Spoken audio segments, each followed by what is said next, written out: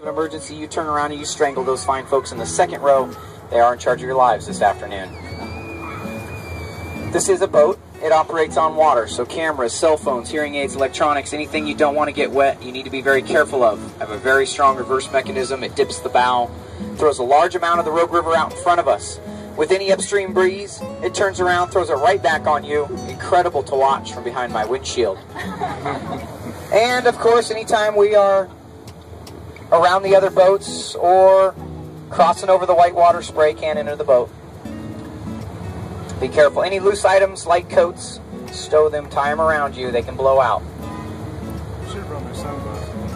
Looking downstream, we're about to cross under the 7th Street Bridge, followed by the Caveman Bridge down there with the arches. On the left side of the center arch, we have a photographer.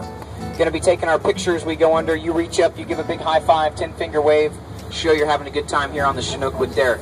That photo is available in the office when we return. One of you wins a free photo. Make sure you check that out.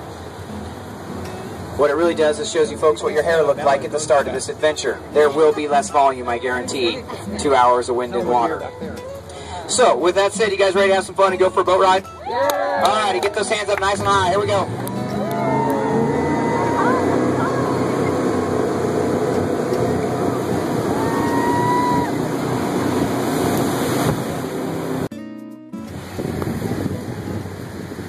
In 1911, Pacific Power came in and they bought Hellgate Canyon.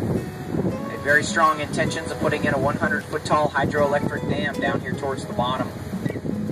Luckily, folks had the foresight to not allow it. The passing of the Wild and Scenic Rivers Act, it will remain just like this.